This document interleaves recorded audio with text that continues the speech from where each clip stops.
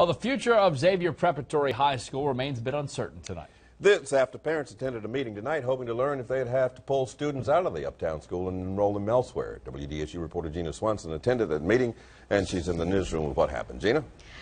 Norman, there's still a lot of uncertainty for the Xavier Prep community. Parents were told in a meeting tonight that it would be about 10 days before they know details of the future of the school. Parents were called to a closed door meeting to get this update. The Order of Nuns that run Xavier Prep announced its plans to close the school back in February, but since then, the students, parents, and alumni have been feverishly fundraising an effort to keep the 98 year institution open. Still, there are questions tonight. If the school does remain open, will it be able to keep the name Xavier Prep? Will it be able to remain housed in its stately uptown campus on Magazine Street? Those are the details that are still being worked out. Another concern for parents is that if the school is open next year, they really want to make sure that it'll still be sustainable for years to come. So this isn't the last of this. Parents are expected to know more in the coming days. Norman.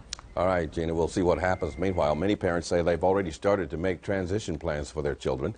If the school remains open, it would have fewer students. The principal says he will make a statement when all the details are finalized.